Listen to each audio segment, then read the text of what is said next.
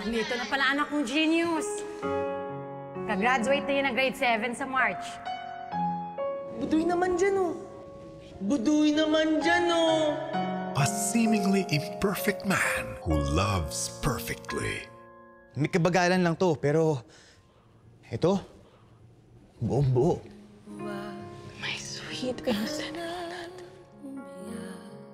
And a family whose imperfect love drove them apart. Doon naman ang punta nun eh. Pahanda kong annulment papers. Gawin mo. Huwag mong sabihin.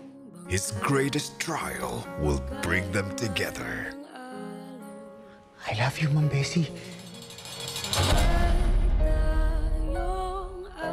Tell me, sinong gumawa sa'yo nito? Hayop na y- Alam niyo ba kung gaano kabigat itong binibintang sa inyo?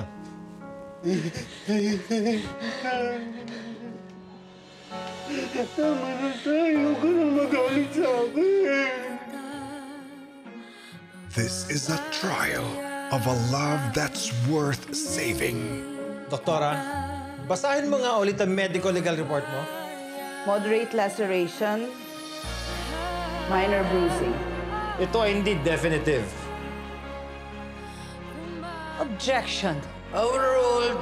Kung hindi lumabas ang video, magdedemanda ka ba? Hypothetical! Baka nga siguro, mali tayo sa pagpapalaki sa anak natin.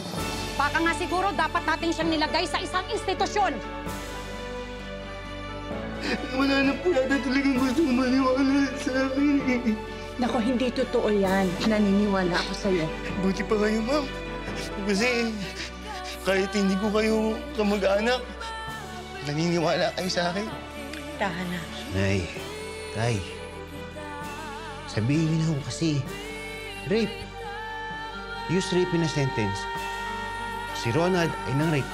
Tapos. The Trial. In theaters October 24.